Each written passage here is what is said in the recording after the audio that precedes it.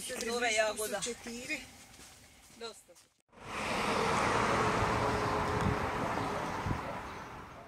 Dalić je bio, i- lani je bio i gospon Dalić, selektor reprezentacije Hrvatske.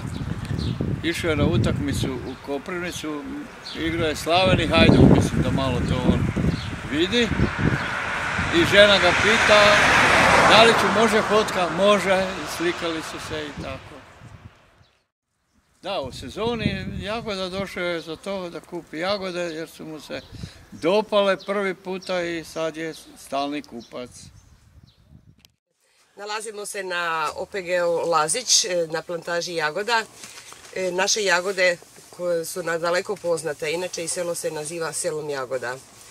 E, U ostalom, svi vole naše jagode, pogotovo igrači Dinama Bočkaj, a i igrači Varaždina, koji su dobili na- naravno za poklon prošle godine cijeli sanduk da vide kakva, je- kvaliteta. To je prva godina stvarno specifična zbog visokih temperatura, normalno i klimatskih tih svih promjena došlo je do e, nagle zriobe jagoda. Pa došle su točno tri tjedna ranije, znači sad bude već od 7.4. puna tri tjedna ranije. No međutim vanjska još dosta je zelena, ona će još malo pričekati. Plastenička je došla ranije, ali vanjska još nije. Uopće nije bilo tako. Čim sunce zagrije, gotovo.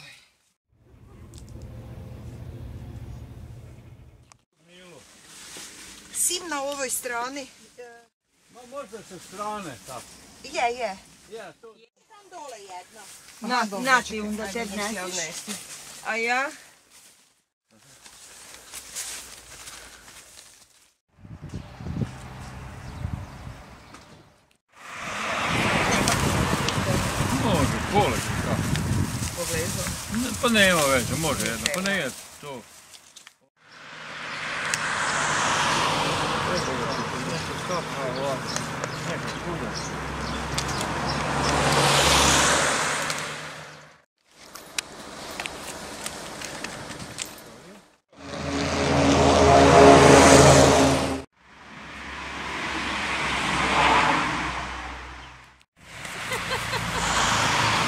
acá, né? A castigo não pode ser chata, né?